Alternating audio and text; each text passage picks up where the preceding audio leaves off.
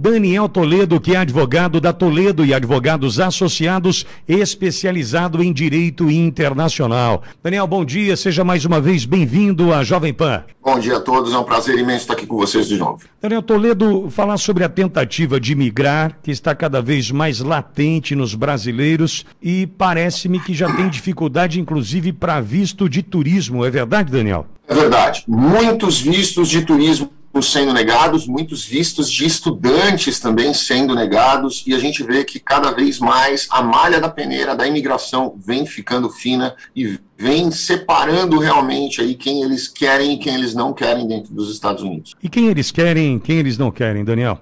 Boa pergunta é, eles querem, obviamente, o turismo. Né? Eles querem as pessoas que vêm com um propósito específico de turismo, pessoas que vêm para ver o Mickey, pessoas que vêm para gastar dinheiro, pessoas que vêm para passear pelo país e depois voltar para o país de origem. Quem eles não querem? As pessoas que têm perfil e intenção de ficar definitivamente. Eles sabem que no Brasil nós estamos numa questão de, de, crise política muito grande. A economia do Brasil ela não está das melhores já faz algum tempo. Muitas empresas fecharam na, na pandemia, o nível de desemprego está alto ainda, é, apesar de ter caído esse ano, e a gente pode até falar horas aqui com relação a essa questão do desemprego, porque é, nós temos mostrado aí uma, um número que, que é positivo, sim, obviamente, caiu é, dois pontos percentuais, aí quase três pontos percentuais é, de 2020 para cá, mas nós estávamos na pandemia. Se nós pegarmos aí o índice de desemprego de 2019,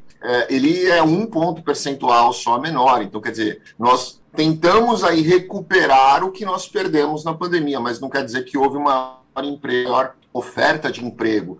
E esse tem sido o grande problema do país que tem ecoado aí internacionalmente. Né? As empresas que fecharam na pandemia, infelizmente, quebraram de vez. Elas não abriram de novo e isso tem causado um problema grande no país. Daniel Toledo é advogado da Toledo e Advogados Associados, especializado em direito internacional, conversando com a audiência Jovem Pan. Daniel, boa semana, obrigado por estar conosco.